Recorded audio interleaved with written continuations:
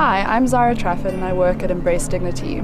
We're here today at UCT exhibiting a photo voice exhibition. The women we work with are exiting prostitution, and in partnership with UCT's psychology department, they participated in a participatory action research project using photographs to tell stories about the communities around them. Embrace Dignity is a women's human rights organization advocating for law reform. We are seeking a law in South Africa that recognizes the harms of prostitution. We stand with the women and girls who are prostituted and exploited. After many years campaigning for human rights in my country and for an end to apartheid and serving as a member of parliament, I realized that women and girls are not free in my country.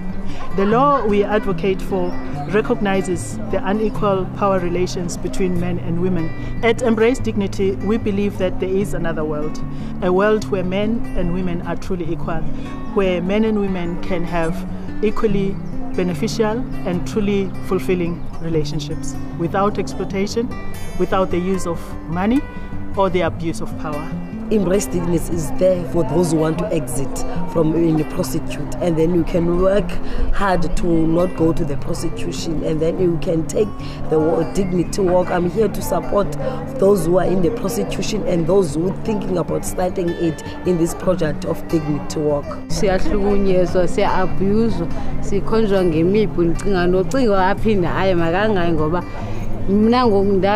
ndacinga uba mandingena i-embrace dignity yena mntu uzanditshintsha ndafunda ikhompyutha afunda i-english class I would like to say to parents, please take care of your children. Be sure that your children go to school and finish the school. And then look for a job.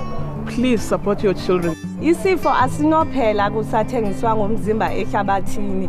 Ndizoncedisana nabo ukuba makuvakale ivoyisi yabo balwele isizwe sabo. Silapha ke namhlanje kule ndawo sikuyo sizocela nina ukuba nincedisane nathi silwele ihlabathi lethu ngokuthengiswa komzimba. Ndizibone ndiyintombazane efuna uphinda esikolweni emveni koba ndihambe i-university dignity so ndizawucela uba mawayeka amantombazane uthengisa ngomzimba. I do not believe prostitution is a choice, and I would like to see a situation where the women who want to exit prostitution get all the support and assistance that they require.